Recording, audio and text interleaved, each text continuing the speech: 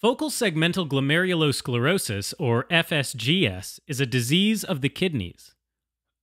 The kidneys are two bean shaped organs in our body that filter out toxic waste products and excess water from the blood and excrete them in urine. Now, inside each kidney, there are clusters of tiny blood vessels called glomeruli, which act like filters of the kidney that let extra water and the harmful wastes through into the urine while keeping important things like red blood cells and proteins in the body. In FSGS, segments of the glomeruli, the filters, get damaged and scarred. As a result, harmful wastes build up in the blood.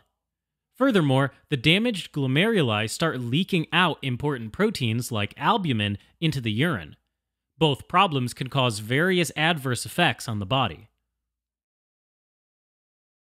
Now, in people with FSGS, the urine may turn foamy, which is due to the proteins lost within the urine, called proteinuria. The main protein lost in the urine is albumin, which normally helps water stay in the blood vessels. With less albumin in the blood, water starts leaking out of the blood vessels and into the tissues, causing puffiness or edema, mainly in the legs and face. Now, in response to low protein levels in the blood, the liver tries to compensate by releasing extra lipid molecules like cholesterol in the blood, causing hyperlipidemia, or high cholesterol.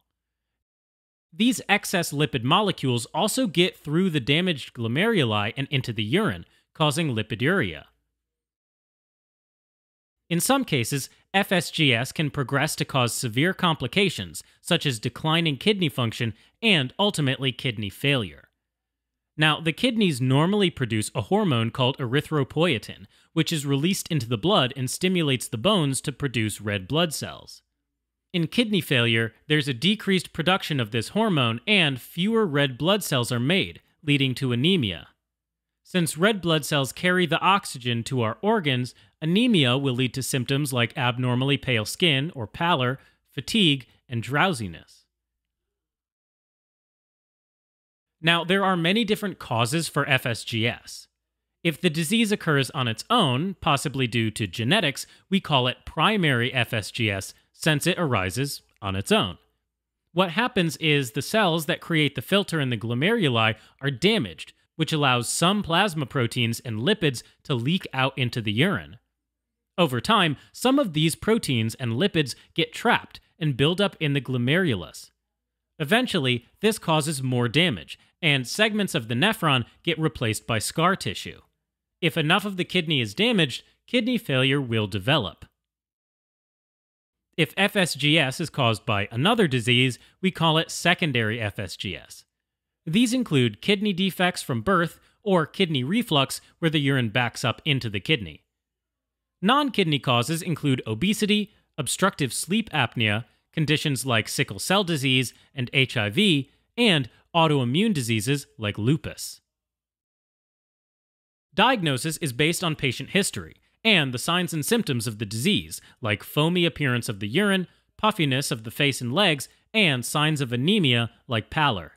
Some clinical tests, like urinalysis, can check the urine for elevated levels of protein or lipid. Blood tests can detect decreased red blood cells and protein, as well as increased lipids.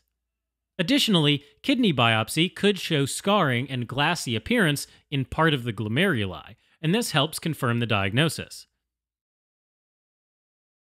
FSGS is usually treated with dietary salt restrictions and steroids like glucocorticoids to suppress the immune system. Blood pressure and cholesterol lowering medications can also help. Lifestyle changes like healthier eating habits, vitamins, exercise, and smoking cessation are also encouraged.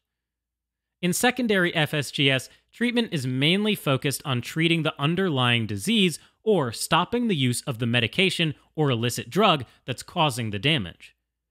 Lastly, for relieving symptoms, diuretics are also used, which flushes out excess water from the circulation, and this helps in reducing the puffiness of the face and legs. Alright, as a quick recap FSGS is a disease which affects glomeruli, causing leakage of excess protein into the urine. This causes foamy urine, puffiness of the face and the legs, and, in some cases, low kidney function and even kidney failure. Diagnosis of FSGS is made with patient history, clinical tests, and a kidney biopsy. Treatments include medications like glucocorticoids, dietary restrictions, and supportive care with blood pressure medications and diuretics or water pills.